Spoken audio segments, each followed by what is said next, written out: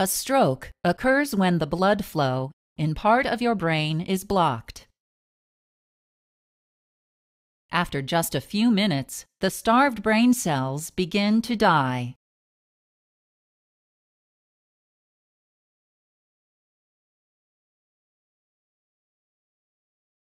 Normally, the brain receives blood via two major pairs of arteries, which branch throughout brain tissue and supply your brain cells with a constant flow of oxygen, glucose, and nutrients necessary for their functions.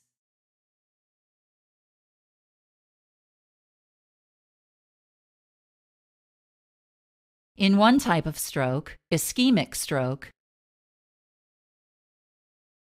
an artery in your brain narrows or becomes completely blocked, preventing normal blood flow. The blockage may be caused by a blood clot, also called a thrombus, which forms in an unhealthy artery of the brain. The lack of blood flow causes the tissue the artery supplies to become starved or ischemic. Similarly, the blockage may be due to an embolus, a blood clot that forms elsewhere in the body and travels to the brain.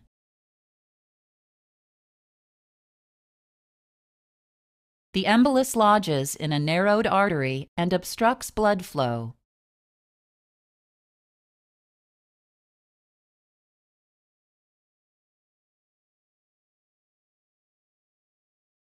In contrast, during a hemorrhagic stroke,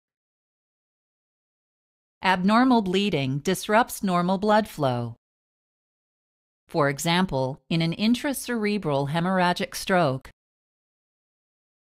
a blood vessel bursts, spilling blood directly onto your brain, while robbing the intended tissue of nourishment. Both the hemorrhage and ischemia destroy brain tissue. A subarachnoid hemorrhagic stroke occurs when a weak spot in a blood vessel wall, called an aneurysm, bursts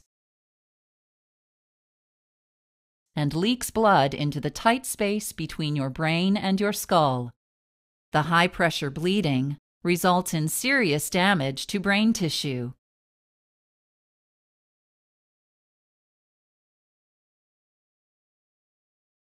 Immediate treatment for your stroke may help to minimize brain cell injury and death. If you have an ischemic stroke, you may be given medication to break up the clot causing your stroke. Later, your doctor may recommend surgery, such as carotid endarterectomy, to reduce your risk of having another ischemic stroke.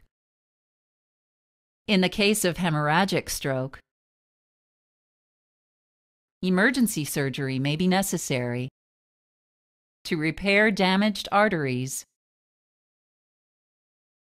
or reduce the pressure of the blood on your brain. You may be given medication to help the brain's blood flow return to normal.